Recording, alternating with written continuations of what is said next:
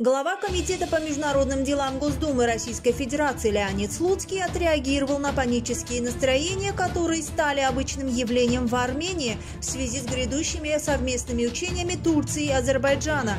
Напомним, что с 1 по 12 февраля Турция проведет масштабные зимние учения в северо-восточной провинции Карс с участием подразделений вооруженных сил Азербайджана.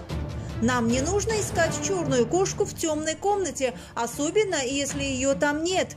Турция и Азербайджан давно ведут многоплановое сотрудничество в военной сфере. Учения эти не впервые заявил депутат Госдумы накануне в ходе онлайн-брифинга на площадке Международного информагентства «Россия сегодня». При этом он добавил, что не видит угрозы для Армении или России в проведении турецко-азербайджанских учений в Карсе. Леонид Слуцкий также считает неправильным рассматривать Армению какой-то мишенью дальнейших совместных действий.